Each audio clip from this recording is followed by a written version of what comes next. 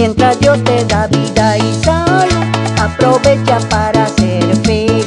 Mientras Dios te da vida y salud, aprovecha para dar amor.